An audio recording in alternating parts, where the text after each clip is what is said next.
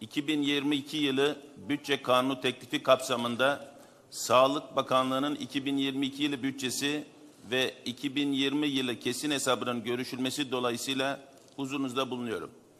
Göstereceğiniz ilgi ve teveccüh için teşekkür ediyor.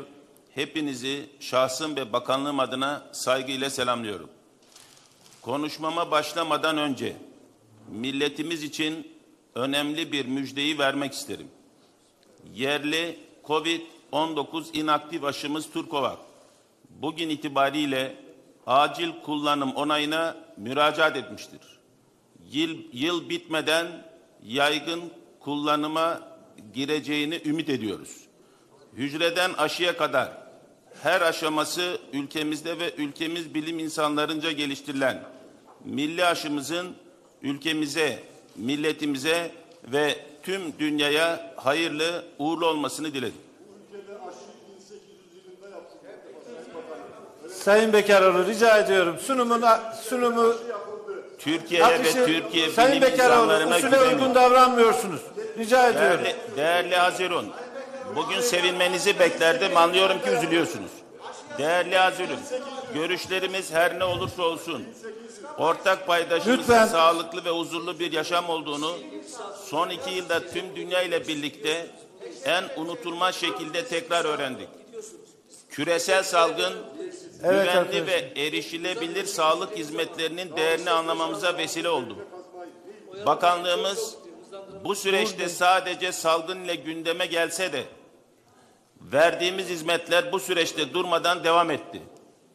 Küresel gündem bakanlığımızın sadece salgınla mücadele eden bir kurum gibi görülmesine neden olsa da bilmenizi isterim ki salgın ile mücadele halkı doğrudan ilgilendiren gündem olduğu için ön plana çıktı.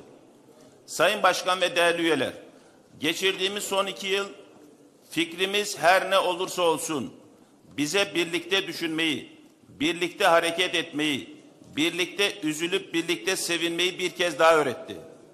Sunumumun başında bilmenizi isterim ki yapacağınız her değerlendirmeyi şimdiden vatandaşımıza sunacağımız hizmetlerimizin kalitesini arttırmak için bir fırsat olarak görüyorum.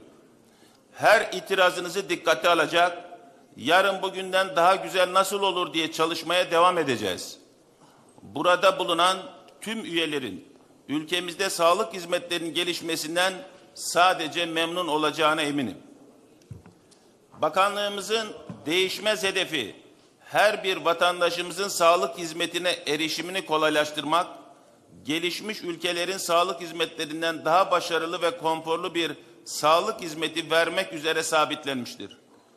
Hiçbir vatandaşımızın tedavisi dışarıda aran, aramayacağı bir sağlık altyapısını korumak için çalıştık ve çalışmaya devam edeceğiz. Sağlık, ekonominin, sosyal refahın, barışın, huzurun, mutluluğun, kısacası hayatta her şeyin başıdır. Sağlık çalışanlarının yetkin hizmeti bu anlamda olağanüstü bir öneme haizdir. Bu hizmetin hakkını verebilmek sadece profesyonel bir meslek tavrıyla, günlük mesai saatleriyle, ortalama iş gücüyle mümkün değildir. Hoşgörü ister, güven ister, fedakarlık ister. Başkalarının acısını dindirmek adına kendi acısını içine gömmek ister. Bir annenin acısını dindirmek uğruna kendi yavrusundan mahrum kalmak ister. Umarım içinde bulunduğumuz pandemi bu gerçeğin tüm toplumlar tarafından farkına varılmasına yol açmıştır. Sağlık çalışanlarımızın çalışma şartlarını iyileştirmek için elimizden geleni yapıyoruz. Hastalarımız ile çalışanlarımızın buluştuğu hastane ortamlarını çağdaş normlara ulaştırmak için yatırımlarımızı artıra- artırarak devam ediyoruz.